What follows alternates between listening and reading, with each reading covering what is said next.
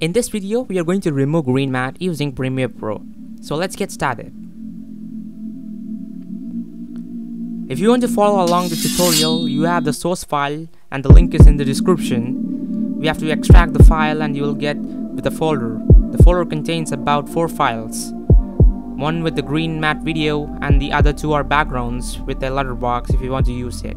Drag everything into your project in the Premiere Pro. So we're going to set up the sequence. We have to set the sequence according to the video where the green matte is.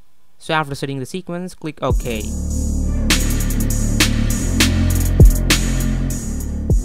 We have to drag in the video. After dragging in the video, I only drag in the video not the audio because I don't need it. You can drag in both. Now we are going to crop the video accordingly. So get to the effects and select for the crop effect. After searching for the crop effect, you have to drag into the video.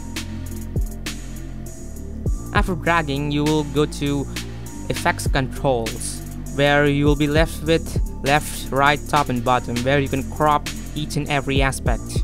I'm cropping with the black edges.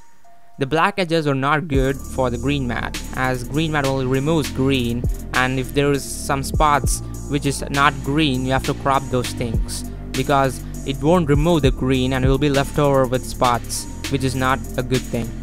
So after removing the black spots, we are left over with proper green matte and the subject.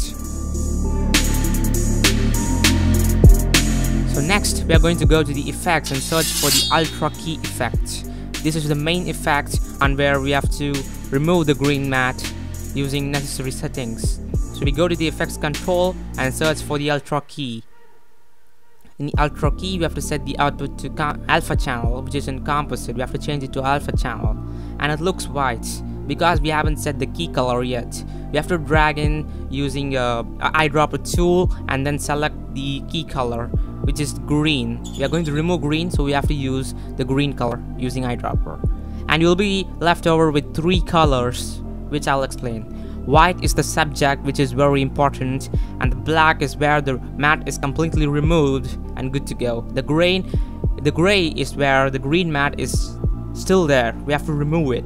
So we are going to remove it using a couple of steps.